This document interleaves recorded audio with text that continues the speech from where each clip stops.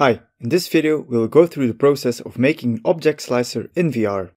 This was achieved by using the Ezy-Slice framework made by David Arayan. More on that later in the video. In all fairness, the implementation for VR I will show you could be better. There are some unexplainable things happening sometimes, so it's not completely reliable. There are some workarounds for this. One option could be to use velocity to force the player to act fast, so issues with colliders are not visible. For example, for a game like Beat Saber. Another workaround would be to work with a plane that you control by activating a trigger. I will make a video tutorial on this in the future, as well as a series on how to make Beat Saber yourself. Let's begin. First of all, before starting, make sure you have the XR Interaction Toolkit installed and have your VR headset set up. I will be using my Oculus Quest. If you want to set up your Quest for Unity, feel free to watch my tutorial on how to set it up. The link is in the description. This video is not a video for complete beginners, but even if you are new, you should be able to follow along. Start a new project in Unity with the XR Interaction Toolkit enabled. As mentioned before, we need the Ezy-Slice framework to make it all work. You can download the framework for free and add it to your Unity project. Go to github.com slash davidarayan slash easyslice to download the project. Thank you, David. Download, unpack and add the Ezy-Slice folder to your assets. Make a new folder called Scripts.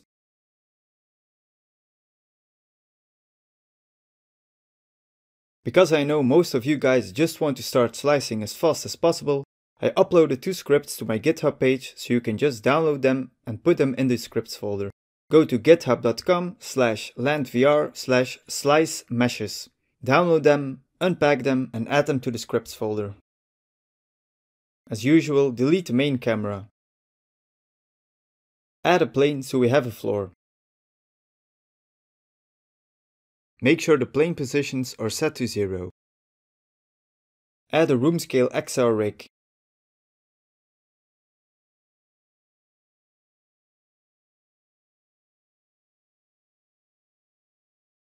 Create an empty object under the right controller and name it Sword Collection.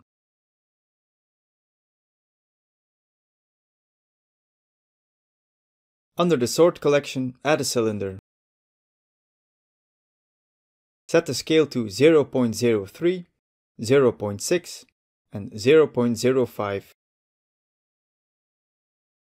Set the Y position to 0.6. Change the name to Sword.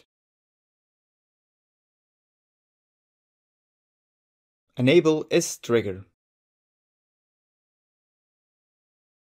The second thing to add here is a plane. This will be the invisible slicer plane. Set the scale to 0.07, 1 and 0.12.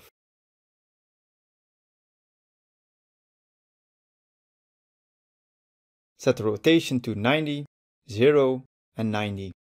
Set the Y position to 0.6 and the Z position to 0.3. Name it slicer. Because this plane should not be visible, disable the mesh renderer.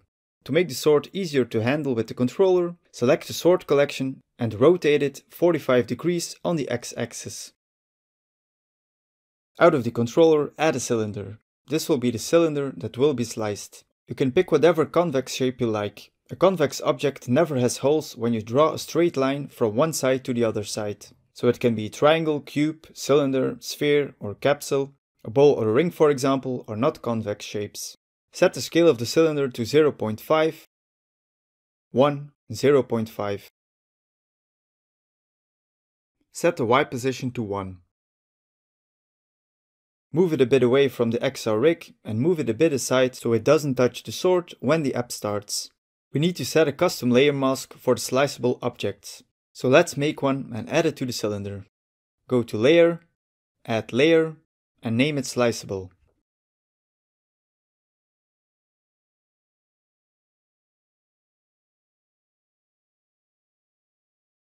Add a rigid body.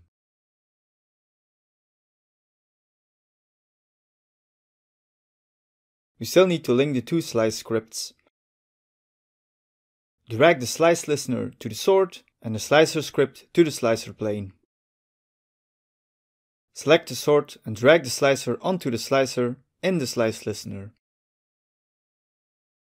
Select the slicer plane and set the slice mask to sliceable.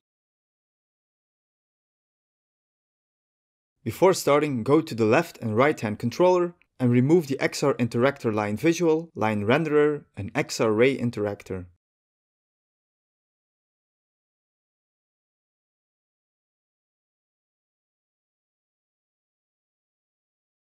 And that's it. You can now build and run the app and slice the cylinder. If you want to slice the newly created parts again, you will have to add a sliceable layer mask in the script to the make it physical method. In a future video, I will go further into customizing the slicer script and I will go through the slicer script step by step. If you want a breakdown of the script right now, you can download it from my Patreon page. Figuring out a way to slice objects in Unity with the VR controller was a challenge that took a lot of time and effort, but I'm happy I did it and that I can share this video with you. If you want to download the complete project, you can do so from my Patreon page. The project is set up for the Oculus Quest, but you can easily add or enable other VR headsets. Thank you for watching.